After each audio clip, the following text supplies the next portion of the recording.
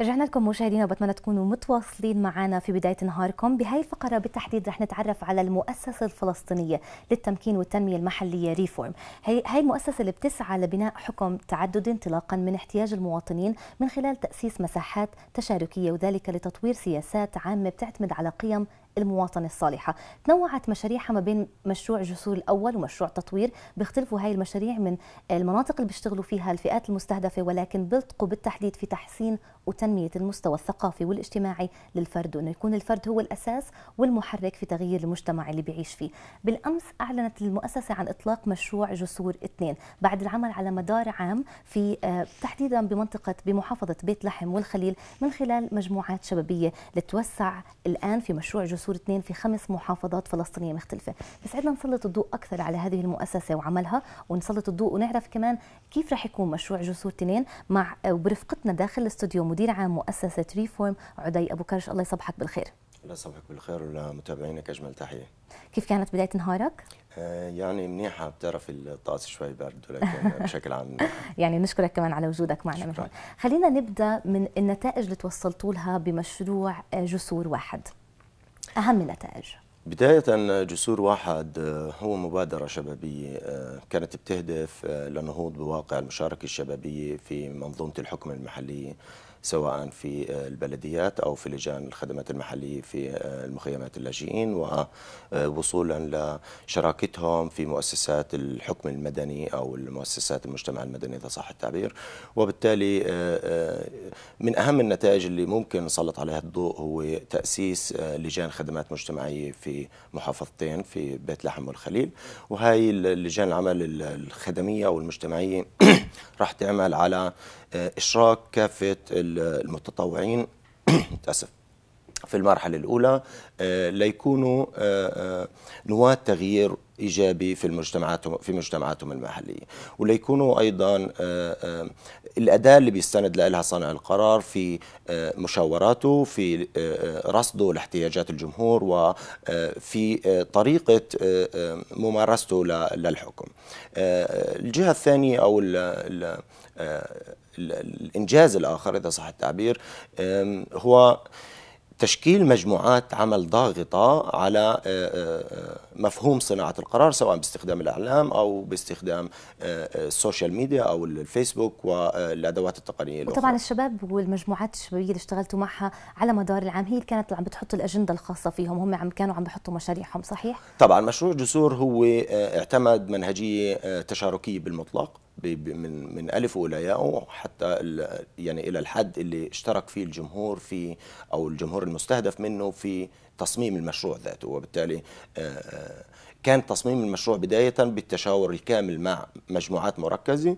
وبعد ذلك هم يصمموا الأجندة اللي بتتناسب مع احتياجاتهم أيضا كان في اشتراك في تنفيذ النشاطات بمعنى أنه هاي الفئات المركزة اللي إحنا كنا بنتشاور معها هي كانت بتقود النشاطات المختلفة في مشروع جسور واحد.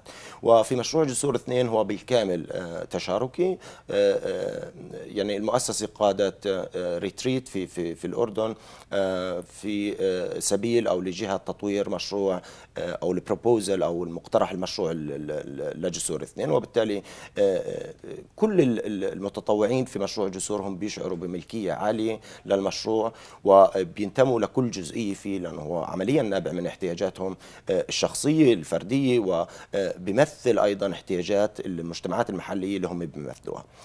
ممكن نرجع نعرج على أهم النتائج اللي جسور واحد حققها عمليا. كانت الفكرة من من جسور واحد أنه أيضا يكون في هناك بناء حراك مجتمعي في مستوى المكونات المجتمعية المختلفة.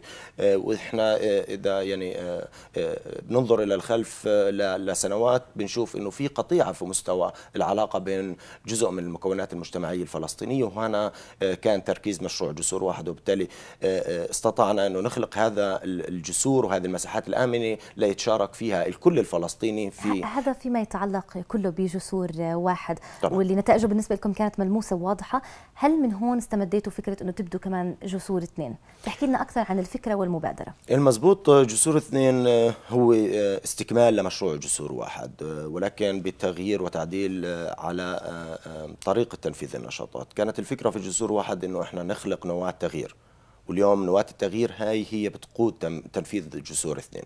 وبالتالي جسور اثنين راح يمتد من بناء قدرة لاشتراك في أعمال تطوعية في الجهات المحلية.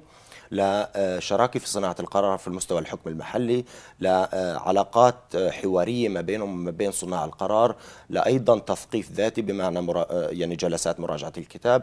إلى الحد اللي بيوصل لنشاطات جماهيرية توعوية بيستهدف فيها المتطوعين اللي مستفيدين من المشروع جسور من مشروع جسور اثنين ليوعوا مجتمعهم المحيط فيهم بأهمية هذا المشروع وبأهمية هذه المبادرة ولكن أيضا بأهمية الحقوق الجمعية للشعب الفلسطيني. الفلسطيني وأيضا للحقوق الفردية. تحكي لنا مين الفئات المستهدفة والمناطق المستهدفة كمان في هذا المشروع؟ المناطق المستهدفة هي خمس محافظات آه، الخليل، بيت لحم، آه، رام الله، اريحه ونابلس آه، والجهة المستهدفة يعني ممكن نقسم المشروع لجهتين، صانع القرار السياسي والإداري وهنا إحنا بنحاول نضغط على صانع القرار لنأثر في طريقة صناعته للقرار تصير آه، أو لا تصبح تشاركية إلى الحد اللي آه، بتتناسب وبتنسجم مع آه، احتياجات الجمهور. وأيضا فئتنا الأصيلة هي الشباب من عمر 22 لعمر 35 سنة.